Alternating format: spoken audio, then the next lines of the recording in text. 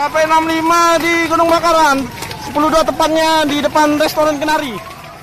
Demikian laporan, Bades Manam.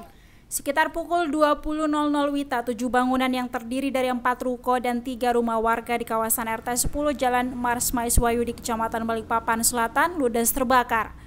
Belum diketahui secara pasti sumber api yang menghanguskan tujuh bangunan tersebut.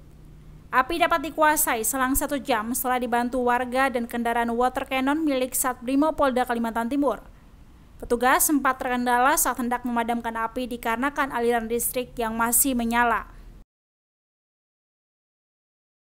Ya baik, jadi kami terima informasi dari masyarakat kurang lebih jam 7.30 malam ini bahwa terjadi kebakaran di seputaran Gunung Bakaran.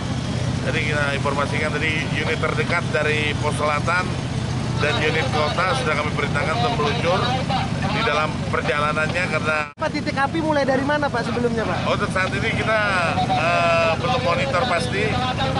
Nanti kita masih menggali informasi dari masyarakat sama pihak berwajib yang akan menentukannya. Kalau sementara apa Pak? Kendala-kendala yang ada ya saat ini tadi kita dapat informasi uh, karena mungkin lokasi belum dipastikan di mana. Uh, listrik masih hidup, ini listriknya masih hidup.